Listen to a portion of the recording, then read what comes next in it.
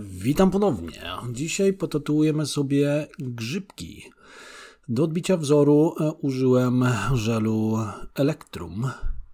E, ważne jest, żeby go rozprowadzić dość równomiernie, żeby nie było go za, za dużo, bo nam się to, bo nam się wzór po prostu rozmyje.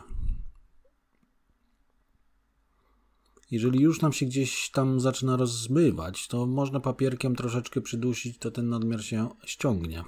Do tatuowania użyłem maszynki, moją, znaczy moją ulubioną maszynkę z Chin, Pena. E, igła to jest 5 round liner do konturów. E, tuszem jechałem dynamikiem czarnym. E, pamiętajcie, żeby się tutaj skupić na konturze, bo mm, przy tym wzorze jakoś niespecjalnie będzie można to oszukać z cieniowaniem, także e, linie będą musiały wychodzić no, równo. Czyli to jest dobry wzór do nauki robienia równych linii. E, nie śpieszcie się. E, napięcie użyłem tutaj 9V.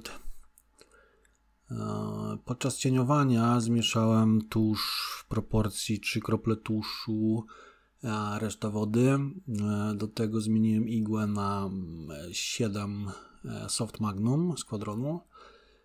E, życzę Wam miłego oglądania i powodzenia w nauce. Trzymajcie się.